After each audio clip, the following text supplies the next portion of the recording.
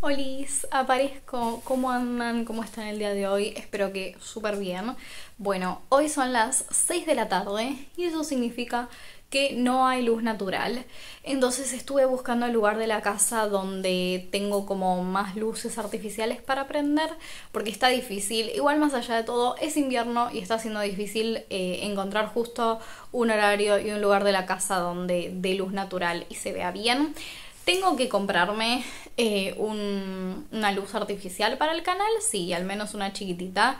Eh, y también un trípode chiquitito como para dejar de poner siempre el celular en una pila de libros y que otro libro lo sostenga detrás. Pero bueno, en este canal hasta los libros eh, nos encuadran la imagen. Arre. Bueno, son pequeñas cositas que en algún momento voy a tener que comprar para ir mejorando el canal. Em, bueno, nada, cuestión. En el video de hoy voy a estar haciendo un challenge. Eh, bueno, ya lo hice ya porque ya leí los libros, evidentemente. Pero bueno, les voy a estar contando este challenge que lo vi en el canal de Throne of Pages. Eh, que es una chica que también habla español, pero hace los videos en inglés generalmente, y a mí me gusta mucho su contenido y todo lo que sube. Y ella básicamente hizo un challenge leyendo eh, los libros que tienen peor rating en su TBR, o sea, en su lista de libros por leer de Goodreads, que es la aplicación que solemos usar los nerds para marcar los libros que vamos leyendo. Eh, que a mí me gusta un montón, si bien en este último tiempo tengo bastantes críticas que hacerle a Goodreads. Eh, sé que hay una competencia de Goodreads, pero nunca la probé. Así que si alguna vez probaron esa app, cuéntenme. Igual sería demasiado difícil porque tengo como mil libros cargados en Goodreads, eh, leídos. Entonces pasar todo eso a otra aplicación me pegó un tiro antes. Pero bueno. En este challenge yo hice algo similar. Básicamente agarré mi TBR, mi lista de libros por leer de Goodreads, que obviamente son un montón, y agarré los libros que tenían menor rating, es decir, las peores calificaciones, y los que tenían las mejores calificaciones, y dije, bueno, los voy a leer todos. Em, bueno, seleccioné algunos, después yo mientras vaya nombrando cada libro voy a intentar dejarles por ahí eh, la calificación que tiene. No hay ningún libro que tenga una calificación tan extremadamente mala, em, así que bueno, nada, pero se los voy a intentar dejar por ahí o por acá o como me parezca en el momento de la edición.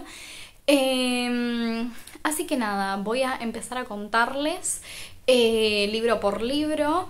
Eh, mi idea es que yo no sabía si hacer videos separados, digamos, de los mejores rateados y mi opinión y los peores rateados. Lo voy a hacer todo en un video porque hay algunos libros que no tengo mucho que agregar y tampoco quiero que quede algo tan largo y tan pesado, sino que sea un poquito más dinámico porque yo hablo mucho y no paro de hablar con el tema de los libros. Eh, si no, es como que nada, callada, no digo nada. Pero con el tema de los libros es como que no sé, no puedo parar de hablar. Bueno, vamos a empezar con los libros peores rateados. Y obviamente acá siempre tengo mi listita. Eh, bueno, de los peores rateados es un libro que se llama Nobody, Somebody, Anybody. Ese es el nombre del libro. Em, de estos libros que voy a hablar ahora, que son los peores rateados, eh, hay como una cuestión generalizada. Y es que entiendo por qué tienen, o sea, entiendo por qué tienen el rating bajo. Y es que son libros que es un concepto difícil de definir. ¿Vieron esos libros que vos lo lees y si alguien te pregunta de qué se trata este libro? Es como que te quedas en blanco porque no es que no lo hayas entendido, no es que no lo hayas leído, no es que no lo hayas terminado, sino que no encontrás en tu mente un concepto en el cual se engloben todas las cosas que pasan en ese libro. Es como que es un poco difícil. Bueno, yo este libro, eh, el de Nobody, Somebody y Anybody, lo puedo, eh, puedo hacer como un paralelismo con el libro de, bueno, casi se me cae el iPad a la mierda, de My Year of Rest and Relaxation. Bueno, es esa onda nada más que peor. Eh, a mí el libro de My Year of Rest and Relaxation, la verdad es que es un libro que me gusta el concepto, pero no me gustó el desarrollo del libro. Que es básicamente una mina que se toma como una especie de año sabático eh, metiéndose medicamentos, ¿no? Como un coma autoinducido. Auto inducido con medicamentos, eh, con una psiquiatra eh, un poco cuestionable. Bueno, esto es algo similar, pero no del todo, no llega a ser tan hardcore. Y la verdad es que me aburrí tanto durante todo el libro. La protagonista era como nada, o sea, era como menos interesante que la del libro anterior, la de My Girl Rest and Relaxation, pero es la onda el mismo concepto, nada más que acá hay otras cosas metidas en el medio que para mí lo único que hizo fue empeorar el libro eh, y que la lectura se hiciera pesada porque ni siquiera es que era un libro tan largo, pero la verdad es que me resultó una lectura pesada. Eh, y nada, si My Year of Rest and Relaxation no me había gustado, este me gustó menos, así que le di una estrella. Así que en este sentido estoy de acuerdo con la gente porque eh, tiene, hay digamos una razón o un sentido de por qué está reiteado bajito. Bueno, seguimos con este otro libro que me llamó mucho la atención, que se llama Girls Against Gold. Eh, y acá también viene mi problema de definición del libro, o sea, ¿de qué se trata? ¿Qué es? Estamos en la mente de una mina constantemente y son pensamientos constantes de la mina. Eh, y como que no va mucho más allá de eso, tengo que decir que hay pasajes muy interesantes en este libro, pero hay otras cosas con las cuales es como que uno se queda, bueno, ¿y ahora qué pasa? ¿O ahora qué tiene que ver esto? O sea, está Dentro de todo, medianamente bien el concepto, sí, eh, que debería haber sido al menos para mí más que estar en la mente de esta persona y digamos estar dentro de esa cosa de sus pensamientos rumiantes, sí, hubiera estado mejor que fuera otra cosa. Eh, así que le puse dos estrellas, porque si bien hay cosas que me gustaron, a la larga se me hizo pesado, es de esos libros que quizá meten algunas, como que bajan línea con cosas ideológicas que yo capaz no estoy de acuerdo, entonces eso hace que o sea, de alguna manera u otra me termine alejando del libro, no me termine gustando, no lo termine apreciando tanto. Sin dudas, estos libros eh, yo los metería en la característica o concepto de libros retorcidos. Y ojo, que a mí me gustan mucho los libros retorcidos. Em, pero hay algunos libros retorcidos como que no terminan de definirse por la línea en la cual van. Eh, y cuando es como solo un texto sin definición, ahí es donde eh, mi cosa que pide estructura literaria es como que genera un choque. Em, así que nada, en ese sentido no me gustó. A este libro le puse dos estrellas. Eh, después seguimos con De Doloriad. Este es un libro que me llamaba mucho la atención porque si ustedes se fijan en Goodreads tiene como una mezcla de géneros que también decís, o sea, ¿de qué se trata realmente este libro? Estamos como en una especie de matriarcado. Y bueno, no quiero decir mucho más, es como que, si no, también es como muy spoiler. Empiezan a pasar cosas, tenemos elementos fantásticos, elementos relacionados más a una cosa tipo ciencia ficción. Eh, pero a mí lo que me pasó con este libro es que el hilo de todo el libro, tipo, literalmente se perdió. O sea, como que no estaba. Eh, y a, mí como que la parte de la trama que me interesó es como que se fue fumando y quedó como ahí desaparecida. Así que le puse una estrella.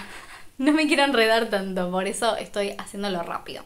Bueno, después dentro de esta lista de los libros peor rateados de mi TBR, teníamos un clásico que se llamaba Tech, que es como un clásico gótico. La verdad es que me gustó la manera en la que estaba escrito, la manera en la que estaba narrado, me pareció bastante piola, pero es de esos relatos que no llegan a nada, como que tiene un potencial que está ahí, pero después como que hace y chao, se fue, se voló.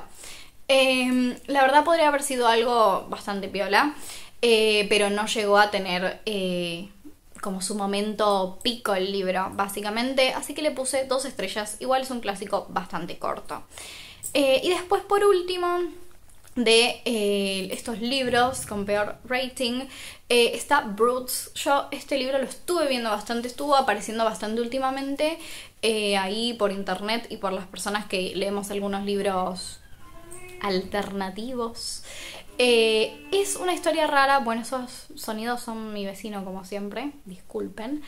Eh, es una historia rara porque eh, es como que hay un grupo de chicas que están obsesionadas con otra chica y como que esa chica desaparece y después como que se despliega una trama bastante, sí, la verdad que rara, retorcida. Le puse 1,5, me gustó el final, pero hasta llegar a ese final se me hizo pesado. Me gustó como la vuelta de rosca, de tuerca o como le quieran decir, como esa cosa twisted que hubo en el final, pero bueno, em, estos libros es como que siento que les falta, o sea, si bien está esa cosa como bien trastornada, retorcida, que a mí me gustan los libros, es como que les falta un poco de profundidad. Sin duda de estos, el que alcanzó más ese nivel de profundidad que yo busco en los libros es Girls Against God, que es el único que acá le puse dos estrellas porque, bueno, Batek también, pero es un clásico, pero digamos de los libros que yo clasificaría como retorcidos, es el único que tiene dos estrellas. Después todos tienen 1 o 1,5 y Batek, que es el clásico, tiene dos. Así que bueno, terminamos con esta parte y vamos con los libros mejor rateados. Eh, había algunos bastante largos acá, entonces en vez de leer 5, eh, leí 4. Bueno, en primer lugar teníamos Poesía completa de Pizarnik. Si ustedes ya vieron mis videos anteriores, ustedes ya saben que yo todavía no había leído a Pizarnik y que yo les dije que eh, mi predicción era que me iba a gustar. Bueno, Pizarnik Lover, arre. Eh, acá está esta belleza. Eh, me gustó muchísimo, le puse cuatro estrellas. la verdad que estoy leyendo en este momento, tipo, right now, arre, los diarios de Pizarnik. La verdad es que la influencia que está creando esta mujer en mi vida es maravillosa. Yo la amo, tipo Pizarnik. Eh, gracias por aparecer en mi vida porque es como muy importante esto para mí. Eh, como verán, está lleno de post-its. Eh, y me encantó absolutamente, tengo que decir que me están gustando más los diarios, pero me, me, encantó absolutamente, me encuentro mucho en ella como escritora, cuando yo escribía poesía, se parece mucho a, lo que leo acá, entonces es como que también me siento medio reflejada en ella en muchas cosas. Eh, me encanta, súper recomiendo a Pizarnik porque nada, claramente Pizarnik ya va a tener un video en el canal particular para ella, porque el amor y la devoción que estoy desarrollando por esta mujer eh, nada, no, no hay palabras para explicarlo. Ya ven cómo me cambia la cara cuando hablo de, un libro que me gusta, tipo lo amo, lo abrazaría, tipo no, no, no, no, lo amo con todo mi alma, con toda mi alma, con todo mi corazón. Em, el otro día vi un video de una chica, esto es como comentario random, vi un video de una chica que decían que le gustaba Pizarnik, pero que a veces para leerla se tenía que tomar como un break o como un recreo, porque la ponía muy mal. Y yo ahí es cuando me puse a replantear, o sea, para mí leer a Pizarnik es como tipo tranqui, leyendo, lo mismo con los diarios, tipo tranqui, es bastante largo el diario, pero tranqui, o sea, leyendo, leyendo. Y decía como que se te tenía que tomar un recreo porque como que se empezaba a deprimir y yo digo, yo esto lo leo como si estuviera leyendo, no sé, tipo nivel tranquilidad como si estuviera leyendo un diario, ni siquiera porque en el diario seguramente hay noticias de la inflación y de la corrupción y de todas cosas tipo apocalípticas, pero para mí esto es como muy tranqui, como que me siento relacionada con Pizarnik, entonces dije, wow, realmente hay gente que leyendo a Pizarnik se pone en un estado emocional malo, o sea, esto significa que yo estoy en el mismo estado emocional que Pizarnik, que leer lo que ella escribe no me afecta, significa que yo estoy en el mismo estadio mental que Alejandra. Puede ser, yo lo dejo en duda. Puede ser, no sé, si alguien leyó a Pizarnik, cuéntenme en los comentarios si les dan ganas de hacer la M-word eh, o no cuando la leen. Bueno, em, siguiendo con eh, otro libro que últimamente lo vi muchísimo en Goodreads, que es As Long as the Lemon Tree Grows, eh, que es un libro de historical fiction que tiene muy buen rating eh, y habla básicamente sobre como el estallido de la guerra en Siria y el pedido de liberación. Yo no sé mucho de este tema, eh, así que también fui como aprendiendo a lo largo un poquito con el libro y también buscando un poco de información para ponerme como en tema y también después la autora al final como que también da información y recursos sobre esto. Lamentablemente a pesar de ser un libro historical fiction, que a mí es algo que a veces me suele gustar bastante, no me terminó de convencer. Eh, Ojo con esto, que yo estoy diciendo que no me gustó el libro no significa que le esté sacando importancia a la temática que trata el libro, porque me parece que la temática del libro está buenísima, que estos temas que tienen que ser más conocidos y más hablados, eh, me parece que está buenísimo que alguien lo tome como punto de partida eh, para escribir un libro, para concientizar, para mostrar a la sociedad cosas que quizá quedan eh, como en la nada porque no es el centro del mundo, nadie sabe qué es lo que pasa en Siria o en ese, ese tipo de países de esa parte del mundo, es como que la gente hace ojos ciegos, no hay noticias sobre eso en el noticiero. Vean el ejemplo con Ucrania, todos nos enteramos, pero con otras guerras y con otras situaciones que pasan, ejemplo, Afganistán, bueno, o ejemplo, cosas de Siria, esto eh, no es algo que se ve en los medios. Entonces me parece que es una manera linda de concientizar y me parece que es una temática importante. Eso a un lado, el libro no me gustó, porque lo noté como muy YA, o sea, muy young adult, eh, para hacer eh, historical fiction. Hay como una historia de amor metida en el medio que me pareció súper uninteresting. O sea, es como que estamos tratando una temática súper seria, pero está entrelazada con otras cosas que hace que eh, primero me aburra, se me hizo un poco pesado. La ejecución del libro no me mató y el desarrollo, o sea, es como que no me terminó de enganchar, pero estuvo entrelazado con ciertas cosas que hace que no me tome la temática como si fuera algo verdaderamente serio, como que no me meta, o sea, lo que me pasó es que no me metí en la historia. Eh, y yo siempre que agarro un historical fiction, eh, lo comparo con Babel, que es uno de mis libros favoritos y es eh, uno de los mejores libros de historical fiction que leí en toda mi vida, aparte de otro libro que ahora no me acuerdo el nombre, em, porque no lo tengo en físico, porque era bastante deprimente. Eh, sí me gustó, pero como más a nivel objetivo, no me acuerdo el nombre. Lo voy a dejar por ahí. Eh, lo voy a dejar por ahí. Em, si lo. Si recuerdo el nombre, porque no se los puedo decir ahora. Pero bueno, yo siempre los comparo con Babel, los libros de historical fiction, porque ese libro es como que literalmente estás metida en la situación política con los personajes. Y cuando estás hablando de algo que tiene que ver con política, con guerra, cuestiones económicas, problemas como hambruna, todo lo que conlleva esta situación socioeconómica en un país, es como que el autor te tiene que meter a sufrir con los personajes. O sea, estás tipo agarrados de la mano con ellos sufriendo. Y esto eh, como que habían situaciones poco serias o cosas que, o sea, no hacía falta que metieran un romance, por ejemplo, porque, o sea, tenemos situaciones de salud, una protagonista que se encarga de la salud de los heridos, o sea, es como una trama fuerte que no tuvo como un sostén que acompañara eso, al menos para mí. Y es una opinión re impopular, porque yo me puse a ver todas las reseñas en Goodreads y eran todas reseñas maravillosas, qué sé yo. Eh, bueno, yo siempre con la cosa unpopular opinion. Y después quedan dos libros. Eh, sigue el libro que es uno de mis libros favoritos de todo el año, tipo ya sé que va a estar en el video de eh, mis libros favoritos de todo el año, que es Project Hail Mary o Proyecto Hail Mary. Eh, es un libro de ciencia, ficción, yo siempre digo, ya estoy hablando rápido porque tipo es como que, no sé, me fluyen las ideas. Arre. yo siempre digo, ciencia ficción no es mi género. Discúlpame, pero si todos los libros, o sea, discúlpame a mi yo del pasado, si todos los libros de ciencia ficción que leyera serían del nivel de Project Hail Mary, eh, me encanta la ciencia ficción. Me encanta la ciencia ficción y quiero leer ciencia ficción toda mi vida. O sea, este libro lo amo con toda mi alma. Eh, me quiero casar con este libro, quiero trascender con este libro, eh, no sé a dónde. Lo amo con todo mi corazón. O sea, fue absolutamente fantástico en todo sentido. Eh, es el primer libro de ciencia ficción que yo digo, o sea, este es el libro, tipo, pasé por todas las emociones, me reí, lloré dos veces, o sea, hacía un montón que no lloraba con un libro y la verdad estaba desesperada en un momento cuando estaba leyéndolo y después en otro momento empecé a llorar, al final también lloré, o sea, fue todo perfecto.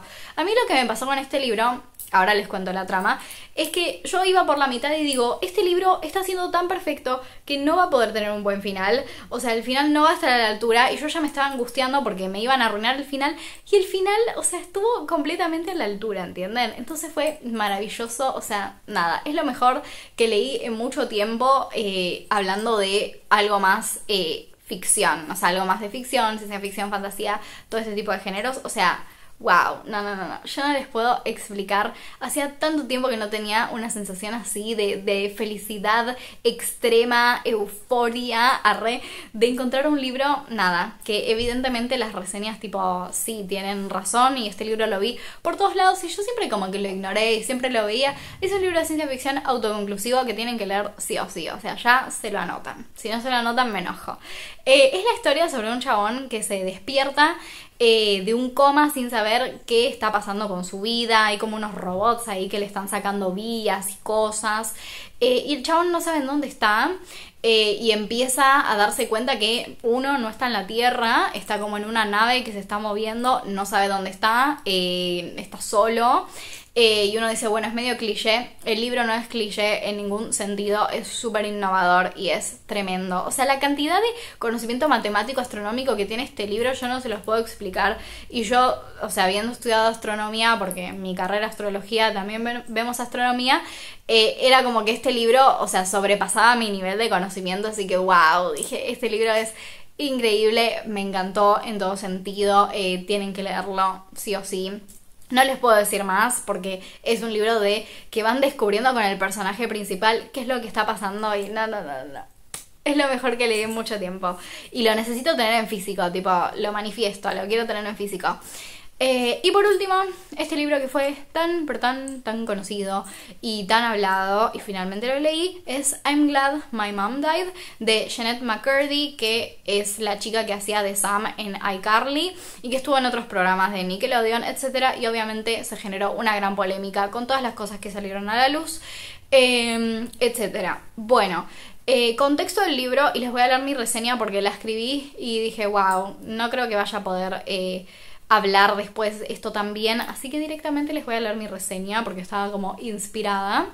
Em, contexto, bueno, esta chica, Jeanette McCurdy, eh, ella en realidad no quería ser actriz, sino que le estaba cumpliendo el deseo a su madre, que su madre estaba absolutamente desquiciada, que la obligaba a ir a los castings, bueno, así todo, es como que la madre buscaba cumplir su deseo a través de su hija.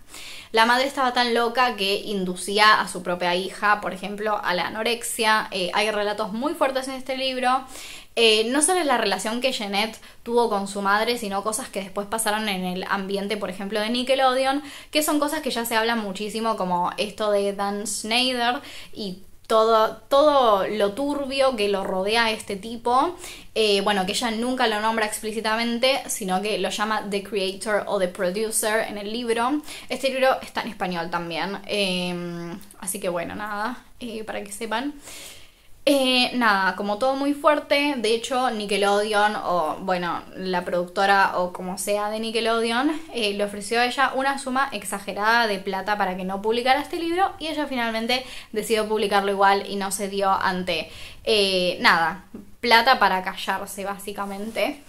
Em, y les voy a leer mi reseña porque creo que la verdad quedó bastante bien. Eh, y es como que explico todas mis sensaciones con este libro. Le puse cuatro estrellas.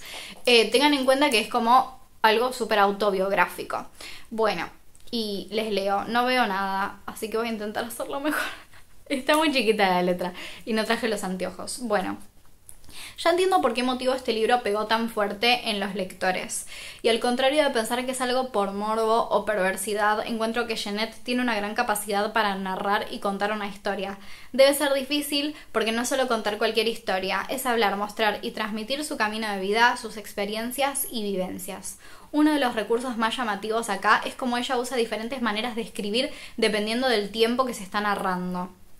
No es simplemente una autobiografía o explicación de esto pasó en X tiempo. Janet logra escribir los eventos de su pasado de una forma en la cual nos transportamos junto a ella con él y lo vivimos desde los ojos de una nena chica.